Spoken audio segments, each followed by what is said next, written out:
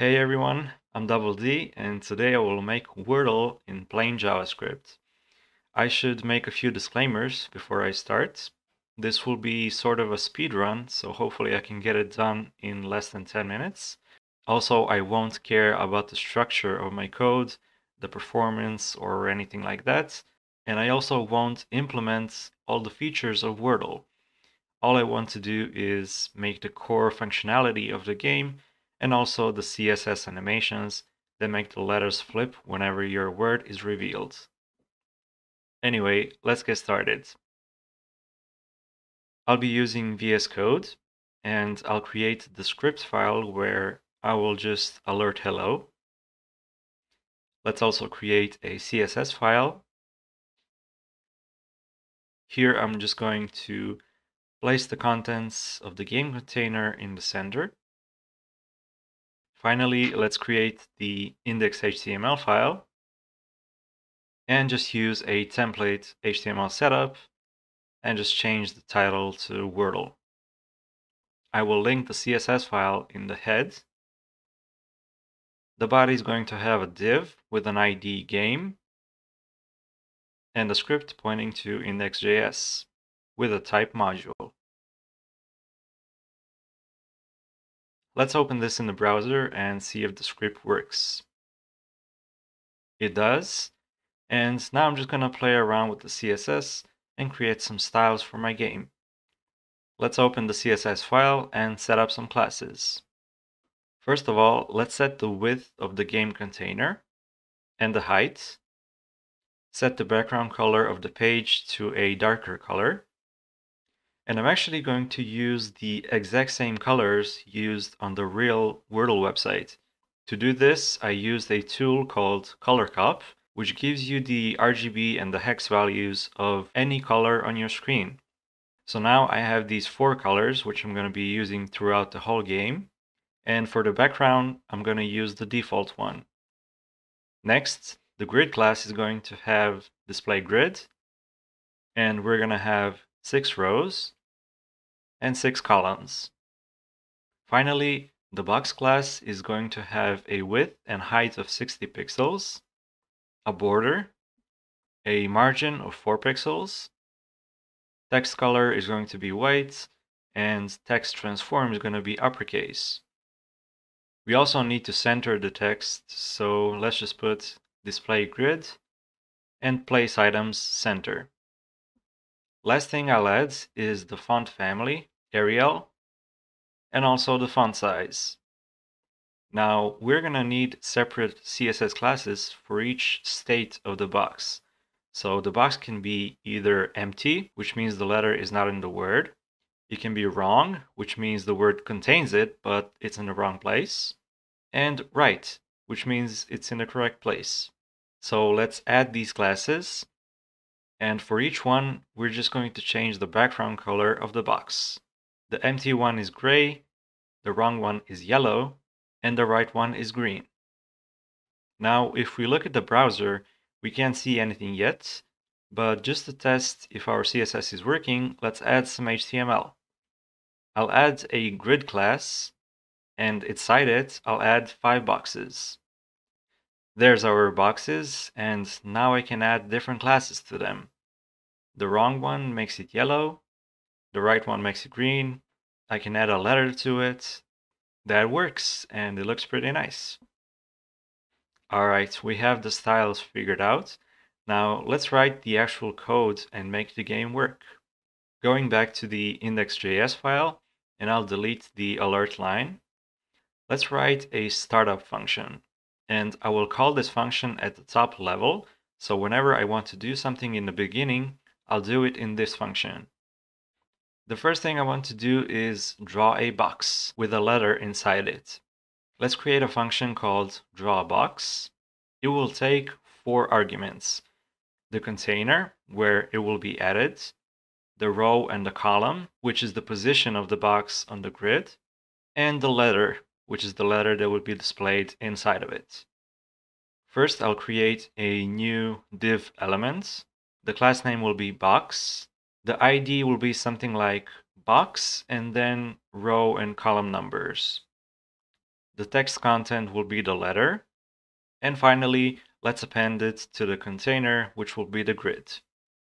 Speaking of the grid, let's make a function for drawing a grid. I think the only argument is going to be the container. First, I'll create a grid, which will be a div element. The class name will be grid. Now let's write a loop that goes from 0 to 6 for rows, and another loop inside that goes from 0 to 5 for columns. And for each iteration, I want to draw a box. The box's container will be the grid itself, the row will be i, and the column will be j. At the end, I want to append the grid to the container. Alright, let's test if this works. Going back to the startup function, let's get the game div from the document that we created in the HTML code earlier. And then I'll say draw grid and pass the game container as the argument. As you can see, as soon as I save the file, the grid was drawn in the browser. Looks pretty nice. The next thing I want to do is create some sort of game state. So the game will have a grid of letters and I want to store that data in a matrix. Essentially, I want to separate the game data from the UI in the actual DOM elements. So let's create a global variable called state. It's going to have a grid with six rows and five columns. Basically, I'm just going to fill up an array of six elements with another array of five elements, creating a two-dimensional grid. The state is also going to have a current row and a current column, which will be the position in the grid where the next letter is going to be typed. And these are both zeros at the start. That's it for now for the game state. I will also need a function that will display this game state in the actual grid. A function that will sort of synchronize the game state and the UI. Let's call it update grid. Here I will just loop over the grid, get the box from the DOM using the ID format we used to create the box. I will set the text content of that box to whatever is in the game state at, at the moment. And that's it. Now, in order to test this, let's set all the letters of the grid to be the letter A. And then let's update the grid to see if it works. And it does. Cool, let's move on. All right, I'm going to delete this test now. And let's get some actual letters on the grid. In the startup function, I'm going to call a function called register keyboard events and then I'll create that function. Here I want to add an event listener for the key down event. I will also need the event object because depending on what key was pressed on my keyboard, I want to do different things. To get the key, I need to use e.key, where e is the event object. And here I want to pay attention to three events. The enter key, the backspace key, and the letter key. I don't have this function yet, but I will definitely need a function that will determine whether something is a letter or not. And for each of these cases, I want to do something different. However, whatever happens, I want to update the grid at the end. Now, for the first scenario, where the player presses the Enter key, I want to check if the whole word is typed out. If it's not, I just want to ignore this event. If it is, however, I want to check if the word is valid. So let's get the current word first. Once again, I don't have this function, but I will write it later. Right now, I just want to focus on the main logic of the game, and I will figure out the small parts later. Once we get the word, let's check if it's valid. If it is, I want to reveal the word. This will tell the player which letters are in the correct place and which aren't. I also want to move on to the next row and set the column number to zero. If the word isn't valid, I just want to display a message saying that it's not a real word. That's it for the enter key. Let's move on to backspace. In this case, I just want to remove the last letter that was typed. And finally, if the pressed key was a letter, I want to add it to the grid. Now, I wrote a lot of small functions here that I still don't have, so let's start implementing them. The first one is get current word. In order to get the current word, I'll just put together all the letters in the current row. So on the current row, I will use the reduce function and I will add the previous and the current letter together. The next function is valid word. For this one, I will need some kind of list of words that are valid. So up here, above my game state, I will declare a dictionary, which will just be a list of five-letter words like earth, plane, crane, audio, house, and so on. And since we're already here, let's also add another item to our game state. This will be called a secret, which will be the actual word the player has to guess and the secret will just be a random word from the dictionary. So now that we have a dictionary, we can get back to the valid word function, which will just return whether the word is included in our dictionary or not. The next function to write is the reveal word function. This will check all the letters in the current word and display if they're in the correct place or not. So let's get the current row first, and then let's loop over all of its letters. For each one, let's get the box associated with that letter, and also the letter itself. And then let's check for the first case, which is if the letter is equal to the letter in the secret word. If so, then the box should be painted green, and the CSS class name should be right. Else, if the secret word includes the letter, but it's not in the correct position, then the class name should be wrong. Finally, if the word doesn't even contain the letter, the class name should be empty. Once we're done revealing the word, we need to check two things. First, if the revealed word is correct, in which case the player wins. And second, if that was the last guess, in which case the player loses.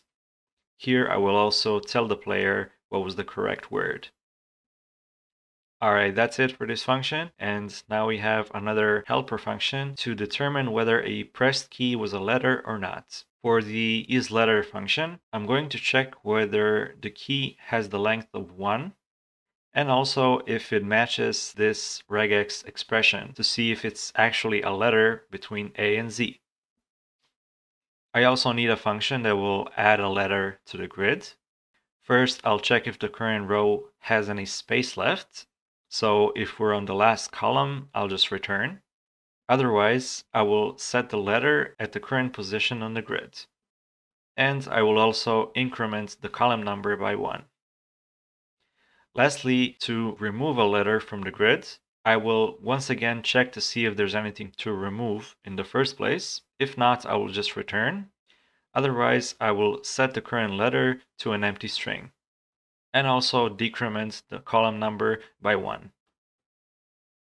Alright, I think that's pretty much all the code I wanted to write. Now let's test the game and see if it works. Before I head to the browser, I'm actually going to cheat at my own game. And in the startup function, I'm going to console log the secret word that I need to guess. This way I can see if the letters are being revealed correctly. As we can see in the console right now, the secret word is plane. And if I try typing, the letters are being displayed correctly, so that's good. Backspace also works. And if I try something like earth and hit enter, I can see that there's an E and an A, and they're both in the wrong position. Let's try crane. Okay, we have three correct letters. And lastly, let's type the correct word, plane. And there we go. Congratulations. Now, let's try some other scenarios. What if I type a non-existing word? There we go. We got a message saying that it's not valid. And what if I run out of guesses? Better luck next time, the word was plane. Nice.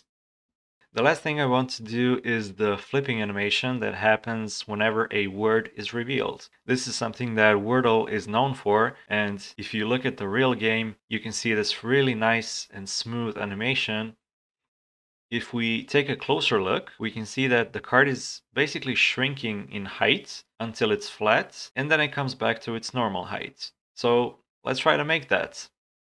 Going back to my CSS file, I'm going to create an animation called flip, and at 0% is going to have transform scale y1, which won't change anything at all.